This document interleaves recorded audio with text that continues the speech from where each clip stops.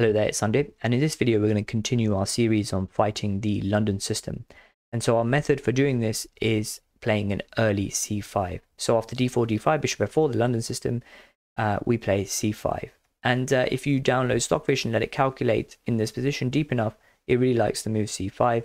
It challenges for the center, and when you research this um, uh, this variation, you'll notice that when London system players do their normal things like play e3, c3, knight f3, knight e2, uh, you can put white under a lot of pressure or at the very least get a comfortable position for black. Um, and so in a previous video, we looked at d takes c5, which is kind of dubious but playable. It's the fourth most popular option in the Lichess database. And in this video, we're going to look at e3 and c3 specifically. So you can watch these videos as standalone. Um, but uh, the full playlist is in the description below. So now, after E3 or C3, they often kind of transpose into each other. The top engine move is E3. Um, I like to play the move knight c6. And uh, why is that? Because now after, if, sorry, if white decides to take on c5, d takes c5, this is a mistake because now after e5, the bishop gets pushed back to g3. And after bishop takes c5, you have two monster pawns in the center and if you turn on the engine, it favors black. Okay, so a very, very comfortable position. So knight c, knight c6 has a positional feel. It prevents white from releasing tension uh, in the center. You can leave your thoughts about it below. There are other moves. Uh, and now you can see in the Lichess database, this is everyone, not master level players, people play the move c3. And uh, once this happens, I like the move queen b6. And this pawn is hanging. So often when we are faced situations like this, we wonder whether we're grabbing a poison pawn. And there are three criteria that I like to go through when evaluating a situation like this. Number one, I like to I like to ask myself, is the dark square bishop outside of the pawn chain? Yes, it is. In which case it cannot get back to d2 and harass the black queen if need be. Okay. Number two, is there a is there a pawn on c3? Yes, there is in which case there cannot be a knight on c3 and the knight cannot execute this b5 maneuver, in which case black is most probably lost. So as an illustration, instead of c3, let's say your opponent played knight c3, you got to look after this d5 pawn. So let's say you play knight f6, knight f3, queen b6, and now let's just say bishop b2. This is a huge blunder. Because white has the follow-up knight b5, and this is a threat, there's no good way to deal with it. If you turn on the engine, it's plus four. So white is just completely winning. And that's all because there was a knight on c3 that could jump to b5. So that second criteria was, is there a pawn on c3?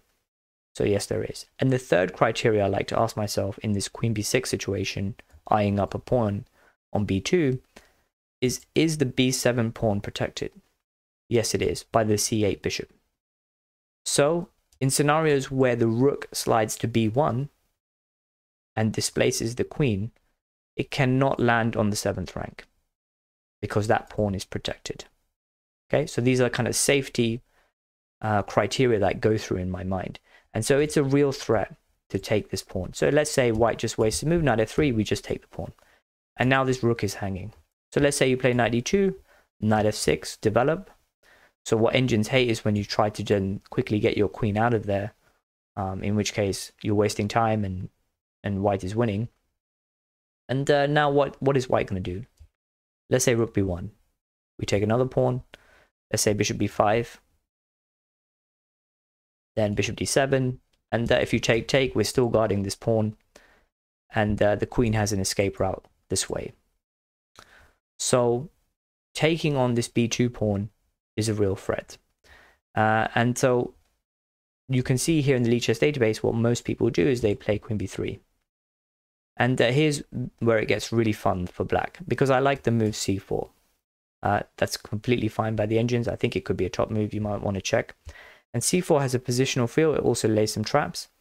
And so what c4 does is basically says, well, this bishop can never now go to d3, can never hit this h7 pawn. So there's a safety aspect to it, in which case the bishop has to go to e2, or if white wants to waste time, go to g2. Okay. Um, and uh, if white takes, then that's fine, because we can now play b5, connect the pawns, and uh, we've activated our rook, and if you turn on the engine, it favors black. So after c4, you can see here most people are going to retreat. I think that's a very good move. You have queen c2. And uh, here comes some of the tricks and traps in this variation, which I really enjoy. And so most people in this line play bishop f5. And this is a huge mistake. Because what black is saying is if you take my bishop, I'm taking your pawn and your rook, but it doesn't work.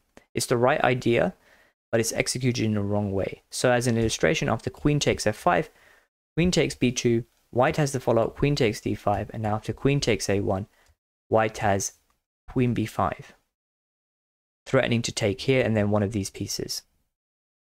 And uh, white is completely winning. And uh, if you, I don't know, if you castle after bishop takes c4, I think if you turn on the engine, it favors white. You have active pieces around the black king, it's very dangerous. Uh, not to mention the fact that black is underdeveloped. So this bishop immediate bishop f5 idea doesn't work because the queen gets to d5, gets to b5. So you might say, well, I play knight f6 first.